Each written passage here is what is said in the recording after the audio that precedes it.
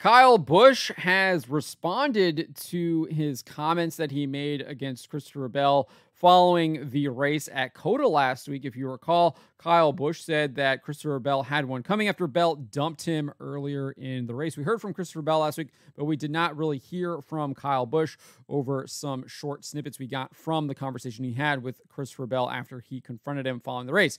Before we get into this, I'd like to ask you please hit that subscribe button, hit that bell for notifications so you don't miss any of our future videos here at John Trent Racing. So, so let's start with what we saw last week. This is from the official NASCAR uh, account on X. You can see we are looking at the back of Kyle Busch as he makes his way through the pit area to confront Christopher Bell. Let's take a look here. You can see he's very upset. Gets right in his face. Can't really hear anything.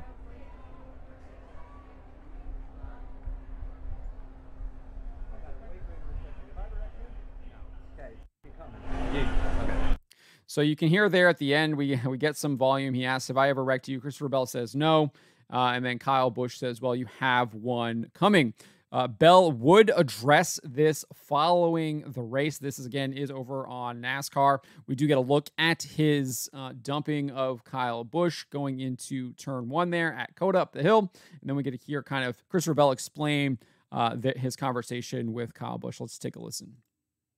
I mean, yeah, obviously he's he's very upset, which you know he ended up turned around. And you know, first off, I'm I'm sorry to Larson in the five car. I got him earlier in the race, and uh, by no intention at all, I didn't mean to do that. But you know, KB is frustrated about what happened in turn one, and you know, I, I don't know. We were they were too wide going in there. I, I haven't. I mean, yeah. So there you go. Obviously, you get to hear a little bit of what Christopher Bell had to say there, and then you can see the wreck. It definitely appears that uh, Bell did indeed dump him right there. Really, kind of took an aggressive line into the corner and uh, ran into the side of Kyle Busch's car. Well, now we have uh, Bob Pockrass. He spoke with Christopher Bell ahead of the race at Richmond. Uh, he said that uh, the two talked, him and Kyle Busch did indeed talk with each other on Monday after Bell left a message and Busch called him back. Let's listen to what Christopher Bell had to say about that phone call with Kyle Busch, and then we'll get to what Kyle Busch had to say. Replay from last week, and did you? I did. Did yeah. you think any differently than what you thought? I mean, the race?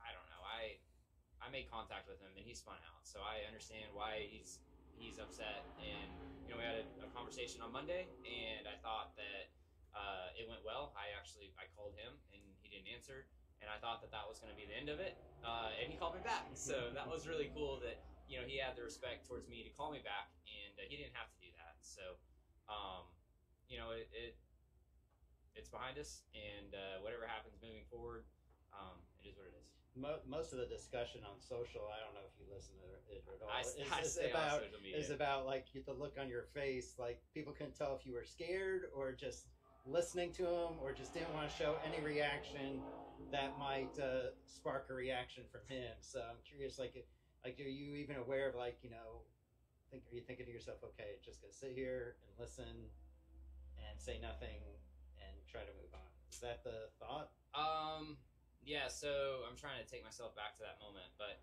uh, there were a couple things going on. So number one, I felt pretty ill after the race. Uh, it was a, you know, I went green other than the stages, and normally I can get a uh, a drink inside the car, like a, uh, I call it scratch. It's like an additive to the water that makes me feel a lot better. So I didn't get the scratch in there, so I was feeling ill after the race. Um, and then, yeah, I mean, he came up to me and and what am I gonna say? Like I I, made contact with the dude. I hadn't seen a replay, so I didn't know exactly what went down. Um, and I knew that he had every right to be mad, but uh, you know, I just didn't want to say anything that was out of terms or without having more information of the you know the event. So that is what Christopher Bell had to say. He is describing the conversation he had with Kyle Busch as a, good conversation. Uh, I think Kyle Busch might describe it as another way.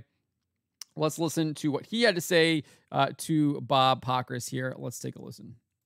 So I'm curious, uh, why did you want to talk to him more, and did you feel like it was productive? Um, yeah, I mean, just to give more of my side than than what I said on pit road, to to have him give a greater understanding into my objectives and what I got going on versus what he might think that he's got going on, and um, he I think he understood that, and then um, heard his side of it, and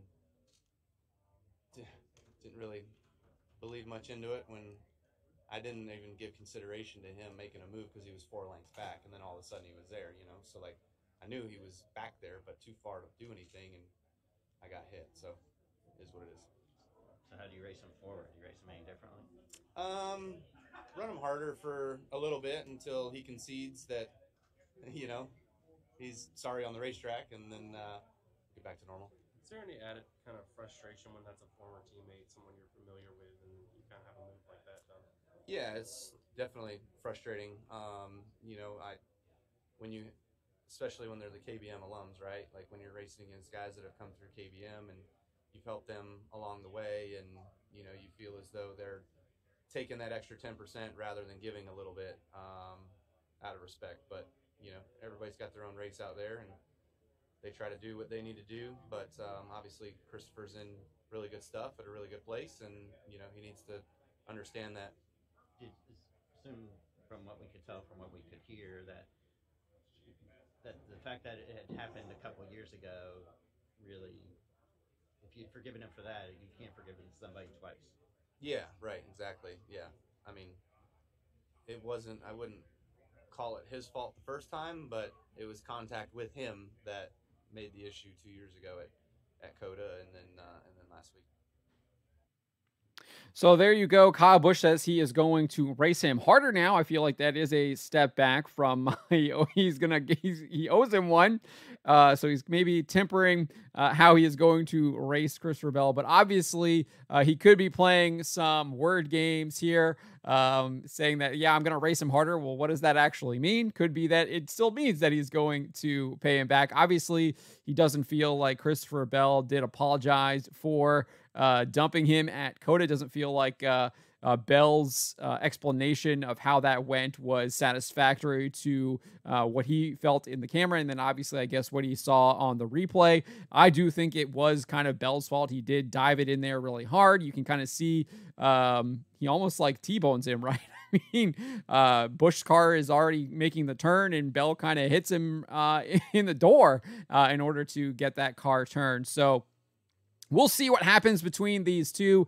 Obviously, Busch uh, has is familiar with Christopher Bell. He went through um, KBM, Kyle Busch Motorsports, uh, obviously, and was a former teammate at Joe Gibbs Racing before Kyle Busch left uh, to race at Richard Childress Racing. So we'll see what happens moving forward. Um, I, I don't know. I don't really expect anything really to happen here at Richmond. We'll see. But uh, it does sound like Kyle Busch is kind of uh, toning things back a little bit. I don't know. I, would rather them see kind of. I'd rather see an actual rivalry. I don't know if Christopher Bell is the guy to make a rivalry with. Obviously, I think Kyle Busch is someone that you can start a rivalry with. Uh, I'd love to see him starting a rivalry with someone. I'd love to see a rivalry just in general in NASCAR. I just don't feel like there are any real rivalries in NASCAR. I mean, you look at some of the lower, or not. I don't even say lower, but even look at some of these other other divisions, you can look at the Lucas Oil Late Model Dirt Series, or World of, World of Outlaws. I do feel like there is a rivalry between Bobby Pierce, between Ricky Thornton Jr. Uh, people are interested to see who's gonna who's gonna who's gonna win when they're when they're racing against each other. When you get kind of those overlaps, uh, look at the super late models. You look at Bubba Pollard and Stephen Nasse. There is a huge rivalry between those two drivers, um, and it's great to see. And I think it drives excitement around the races that they compete in against each other. Uh, I mean, I go back to just uh, Dominion Raceway look at back at I think like 2019, there was a huge track rivalry between Tyler Hughes and Doug Barnes Jr. Uh, it obviously culminated in Doug Barnes Jr. cannonballing into uh, Tyler Hughes' windshield after the two uh, wrecked uh, at the beginning of a race. Um, in turn one and two at Dominion Raceway. Uh, Cars Tour, I do think there is a rivalry in the car Tour as well. Obviously, you don't really see a lot of mayhem happening there, but I do think there is a good rivalry between uh, Brenden Butterbean Queen and Carson Kvapil. And uh, I love to see that rivalry. We saw it kind of uh, reach a, reach ahead at Dominion Raceway last year uh, when uh, the two they were banging each other, and Bobby McCarty was like, "Thank you so much," drove underneath of them and claimed the win.